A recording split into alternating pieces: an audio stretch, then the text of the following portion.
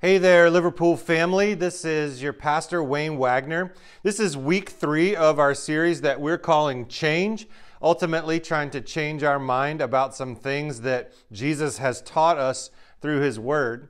In week one, we talked about changing our attitude, especially changing our attitude when it comes to money. We learned, and, and hopefully we have changed our attitude and realized that we are just the managers of the things that God has given us. We are the managers of the finances that God has blessed us with. And we, we looked hard into that passage saying that the earth is the Lord's and everything in it. And so, step one in changing our mind concerning finances has everything to do with realizing who owns it in the first place. It's not us, it is God, and God gives us that stuff to manage.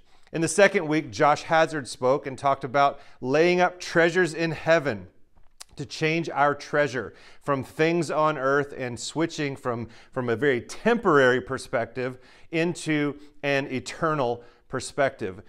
This is the third week. This is the final week of our series, Change, and we got some stuff to get into. Now, I have always been the kind of guy who liked to have some sort of mission or some sort of adventure to do in my life. When I was very young, I had a, I had a whole bunch of these, these little green army guys, and I, they're always so fun to me to play with. And I would set up all these scenarios out. I would go find a spot in the woods, and I would set up scenarios where these guys who were all wearing the same uniform somehow were fighting each other. I don't know why they were doing that and I would set all that stuff up and I would create these scenarios and these missions. And then somehow in the middle of that, you know, He Man would show up or the Incredible Hulk would arrive in a spaceship. And uh, I, I always used this little helicopter which is just a fun little Army helicopter. I love it. It's actually from 1976, the year I was born. And I would take that stuff out into the woods and I would do all sorts of missions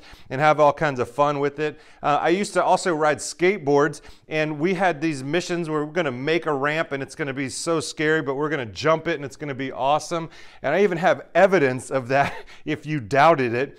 Uh, just look at that dude. That dude is awesome. And you have to you have to know that at least part of what we were doing is because chicks were watching. But we had this mission. We were going to build a ramp and do something awesome with it, and it was always fun. When I was in college, I invented something called conquering. And the whole idea of conquering was to scale the outside of a department store or a grocery store, get on top of the building, look around, be stupid, throw rocks, whatever we were doing. And we called it conquering. It was our mission to conquer that. And even today, as a 44 year old, golf is kind of like a mission for me. You know, I want to go out and I want to play a good round. I want to shoot a good score. And, and so I have this mission every time I go and do it. I think a, a lot of us, we really like the idea of a mission or a or missions in our life because it gives us an opportunity to be successful. It gives us an opportunity to try something, to join forces with other people. A mission helps us get a thing accomplished. But without a mission, life can be pretty bland and pretty boring. We wake up every day in the same bed, go to the kitchen, drink the same coffee, get in the same car, go to the same job, come back home, watch the same TV shows over and over again, and then get back in the same bed and then repeat, repeat, repeat. I don't know about you, but without a mission, that sounds like a soul deadening existence. But if you are a follower of Jesus, your mission is exactly like Jesus' mission. Who Jesus, when he came, he said, I came to seek and to save that which was lost. That was his mission. He came to this earth to seek and to save that which was lost. Now, he's not talking about his car keys, he's talking about us. He came to provide a way for lost people to find him, to be saved. And that's what Jesus came to do. And before Jesus went back up into heaven, before he ascended, he left instructions for us concerning our mission when he said, Go into all the world and make disciples, baptizing them in the name of the Father, the Son, and the Holy Spirit. So, in that sense, our mission and the mission Jesus had are exactly the same. Our lives are about bringing people to Jesus. That is our mission. Our mission is to bring people to Jesus. But have you ever thought about why? Why is it our mission? Why is it our responsibility? Why is it something that we need to do? Why do we need to be the ones to bring people to Jesus? Well, there's some answer for that in Ephesians chapter 2, verse 10. Says, For we are God's handiwork, meaning that God has made us. We are God's handiwork. We are a product of His workshop.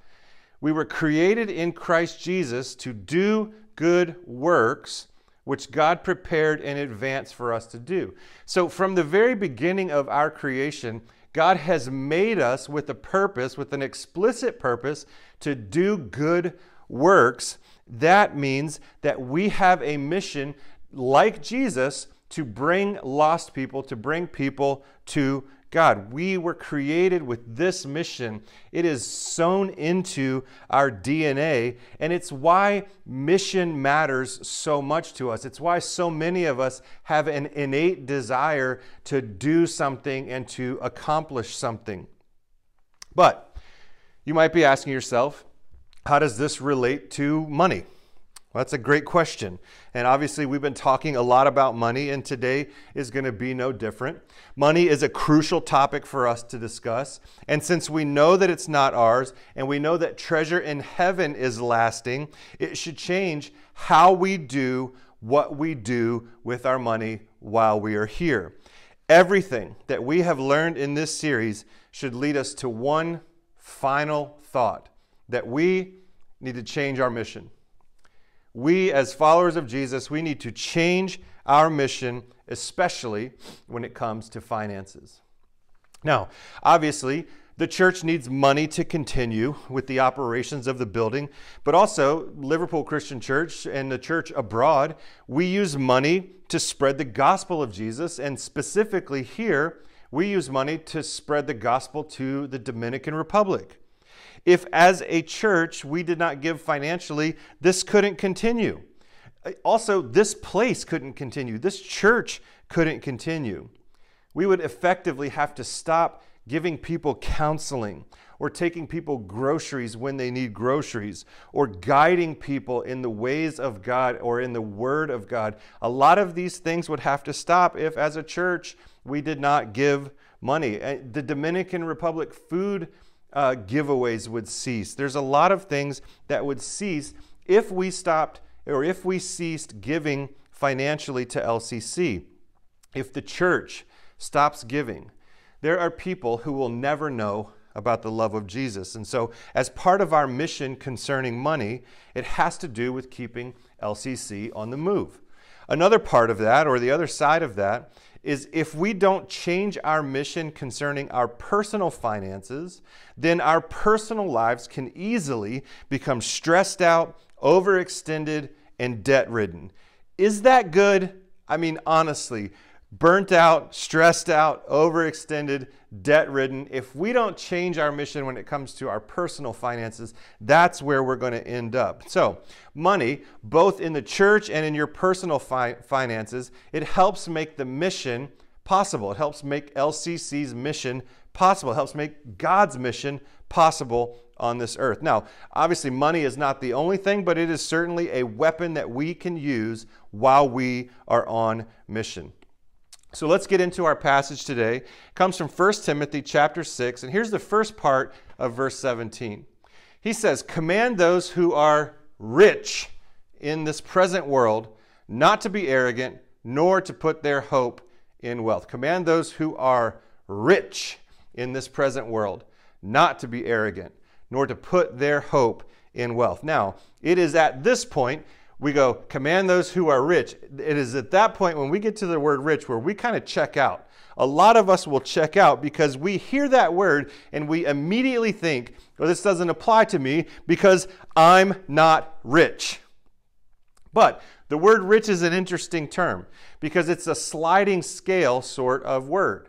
Uh, if someone makes $50,000 a year, the they think the person who makes 75,000 is rich and the person who makes 75 thinks the person that makes 125 is rich and the person that makes 125 thinks that the person who makes 3 million dollars is rich.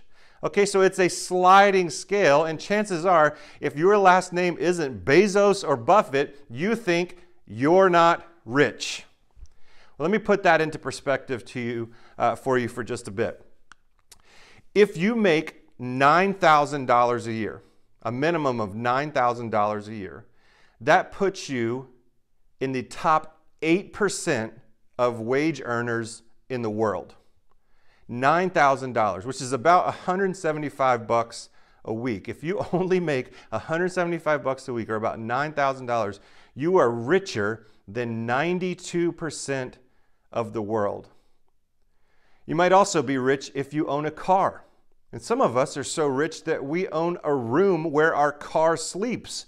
And some of us are so rich that we can fill up that car with fuel so that we can drive around and do nothing. Some of us are so rich we have grass for no reason other than aesthetics. And some of us are so rich that we have animals living in our home that we buy food for, that we give water to, that provide nothing back for us. We have animals in our life that provide neither milk nor meat and they are simply accessories in our life. We are a rich, rich people. And so we cannot ignore this passage because we think we aren't rich. If we put it into perspective, 9,000 bucks makes us richer than 92% of the rest of the world. So we have to pay attention.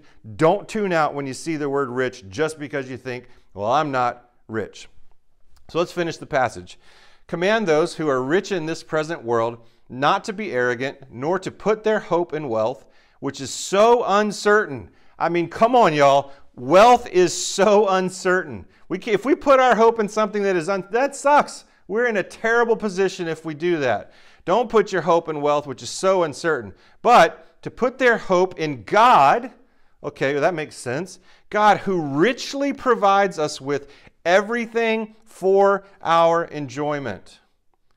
We can't be arrogant about our wealth. We can't be arrogant about the things that we have. God has provided those things for us. Why would we be arrogant about something that we didn't even provide for ourselves? God is giving us these things, and we cannot put our hope in things that are so temporary and so shifting. He goes on in verse 18 Command them to do good. You can always say that with me. Command them to do good, to be rich in good deeds, and to be generous and willing to share. All right, rich people, this is what rich people do. We're supposed to do good, we're supposed to do good deeds, supposed to be generous, supposed to be willing to share. And if you make $9,000 a year, you are wealthier than 92% of the world. So, rich people, us, you and me, we are meant to do good, to be rich in good deeds, to be generous, to be willing to share. In this way, they will lay up treasure for themselves as a firm foundation, not a fleeting one, not one that's going to fade away, but as a firm foundation for the coming age, meaning heaven or life after this life, so that they may take hold of the life that is truly life. Life that is truly life is not temporary, it is not uncertain like money is. So we have to change our mission when it comes to money. And according to this passage, our mission when it comes to money is to do good deeds, to be generous, and to be willing to share. We have to change our mission if we're going to follow God's plan for our finances. Now, God's mission for all of us is that we would be generous, that we would be generous with the finances that He has given us being generous becomes much easier when we realize what we talked about in the first two weeks that it's all God's anyway, and that when we're generous, we're laying up treasure in heaven. So, I want to give you three priorities for your generosity. Just three things, three places where you can be generous. In case you're wondering if where that is, uh, I'm going to clear that up for you right now. Three places where your generosity should be received first. First place is this your church. The first place that we should be generous is our church. Our church, Liverpool Christian Church, should be your first priority with the money that you have, with the generosity that you're going to display. God says in Malachi chapter 3, verse 10, to bring the whole tithe into the storehouse. Now, it, tithe is one of these biblical words that we don't use a lot in our society, but it just means 10%. 10% of your income, 10% of your paycheck. That first 10% is meant to be dedicated to the Lord. And also, if we look at Proverbs 3:10, which we talked about in the first week of the series, we are meant to bring in our first fruits, the first fruits of our harvest, or the first fruits of our paycheck, or the first 10%, or the tithe of our paycheck. This is our first place of priority to bring that 10%, to bring that tithe into the storehouse. We should make it our mission to give 10% of what we earn to the church. Now, I want to be very clear God does not need your money. This is not about God, you know, with his hand out, shuffling along with the pan, trying to collect whatever he's trying to collect. Us giving our 10% to God is about us surrendering to Him. It is about us putting Him first in our life, making Him number one in our life. And it is not because He needs it. We give 10% to God because we need that we need to know, we need to prove to ourselves that He is number one in our life. And we need to trust Him when we give our 10%. We trust Him for the rest, that He will take care of the rest. As a disciple, of Jesus, as a follower of Jesus, our entire goal, our entire life should be about surrendering ourselves to Jesus. And I'll say this, and I mean this because this is going to be tough. Money is often the toughest thing for people to surrender. It's often the toughest thing for someone who is a follower of Jesus to surrender. It's generally the last stronghold. And so, if we're going to be people who are going to trust in God, tithing is a hill that we're going to have to conquer. Maybe my little army man can help you with that. And if not, we'll bring in the reinforcements with the helicopter. All right? So the first place that we want to be generous, or the first priority for our generosity, is the church. The second place, or the second priority for your generosity, is your people. Well, what does that mean? Well, it means the people in your church. Your first priority is the church overall. Your second priority is the people in the church. Look at Galatians chapter 6, verse 10. As we have opportunity, all right, meaning if you can help, help. Right? If you have opportunity to help, if you have what you need and you can help, help. As we have opportunity, let us do good to all people, everybody in the whole world, but especially especially to those who belong to the family of believers. That means the people in your church. So, our first priority is the church overall. The second priority is the people in the church. This is not to the exclusion of those outside the church, but it means that we would take care of one another first. We cannot take care of people outside of the walls if we haven't taken care of the people inside of our walls, especially because we are supposed to take care of the people who are belonging to the family of believers we, we would, uh, at home, you would make sure that your family is fed before you go and feed another family. Now, it may sound cruel and it may sound selfish or weird, but the fact remains if the people inside of your family aren't taken care of, then it's nearly impossible to take care of people outside of your family.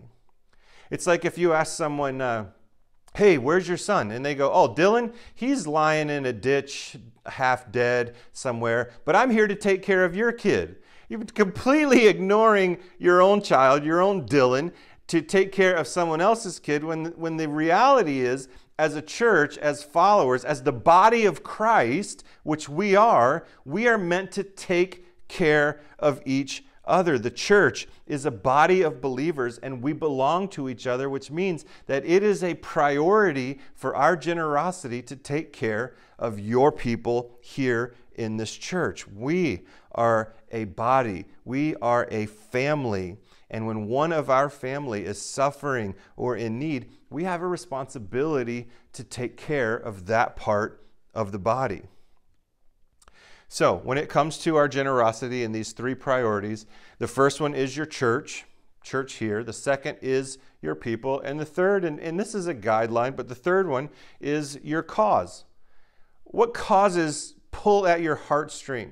What tugs at your heart? What thing or subject or problem or issue or social injustice do you see that you think, man, I can do something about that? I can donate to that thing. I can be generous to that thing. Ask yourself these questions. What, what pulls at my heartstrings? What organizations do I believe in? And then make a decision to be generous with them.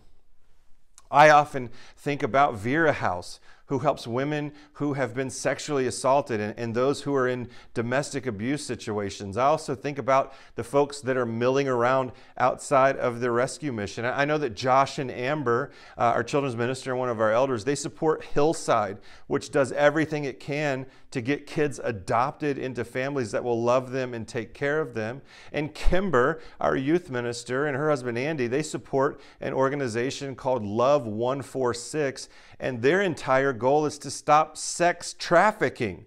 I mean, these are huge big things and they pull on all of our heartstrings. And so, what we do is we're generous with those things. We support our church. Obviously, that's the first thing. That's what God asks of us. We support our people, the people inside the church, and then we support our cause. When you feel compelled, to support something. And after you've followed the first two basic biblical principles, being generous with your cause is just another way to show that you care about something. Now, here's a really important Bible passage when you're considering your levels of generosity. In 2 Corinthians chapter 9, Paul, uh, Paul wrote this Each one of you should give what you have what? Decided. Each one of you should give what you have decided in your heart to give, not reluctantly, not reluctantly or under compulsion, for God loves a cheerful giver. We are on a mission to be generous, but that mission should never be done in a begrudging manner. We should be cheerful when we are able to be generous with the people that we have been called and pushed to be generous to. This is meant to be a joyful experience.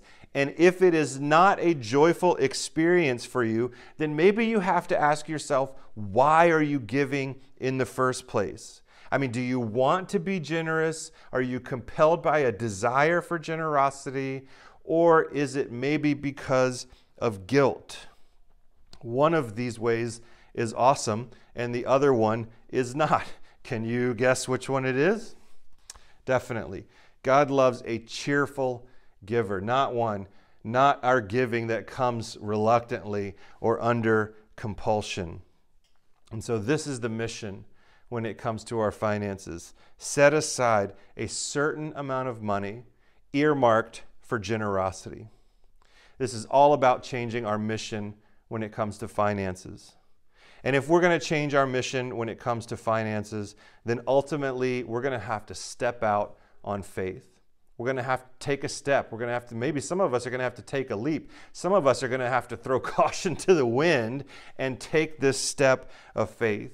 Now, understand it is not faith in the money, it is not faith in yourself. It is only faith in God. It is only surrender to God. It is only us saying, God, I'm going to give you this because I trust you to take care of me for the rest. What if we, as a church, and what if we, as followers of Jesus, decided to take that step of faith on this journey toward generosity? What if you decided to be generous? What if you made that decision? What if you decided to change your mission when it came to finances? If we did that, man, I can picture a beautiful scenario where our core as a church to love God, love others, and serve the world would become so much more than a slogan and so much more than a cool graphic in the back of the auditorium.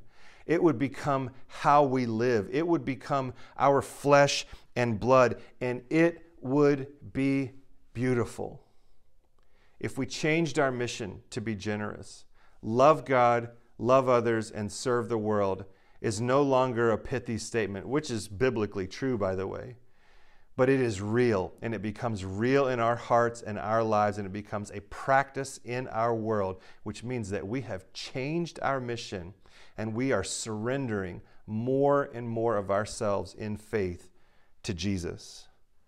I want to give you a challenge. Make whatever decisions you need to make to be generous, starting with your church, starting with the people in your church, and then moving on to the cause that you believe in the most. Let's be people who change our mission, and let's be people who are generous with what God has given us. God has given us so much. He gave actually His Son, Jesus, so that we could be saved from our sins, so that our sins could be forgiven, so that we can avoid an eternity that is devoid of hope. God gave his son, and Jesus gave his life. They were extremely generous with that.